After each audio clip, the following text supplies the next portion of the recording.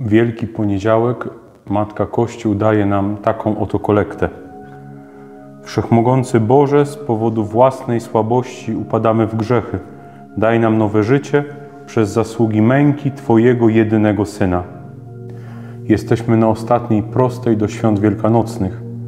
Cały czas Wielkiego Postu był po to, żeby z jednej strony uświadomić sobie, że nie jesteśmy bogami w naszym życiu, że wielokrotnie przegrywamy walkę z pokusą, że nie widzimy sensu cierpienia, mamy swoje bożki i jesteśmy ślepi i umarli jak łazarz.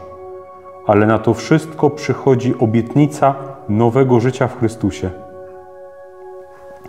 Ofiara życia, którą za nas złożył, i Jego męka daje nam gwarancję, że nasze powołanie do życia i świętości, pomimo tych naszych odejść i niewierności, nie traci na wartości, że nie musimy się lękać, że On ma w nas upodobanie, jak mówi Izajasz w pierwszej pieśni o słudze pańskim.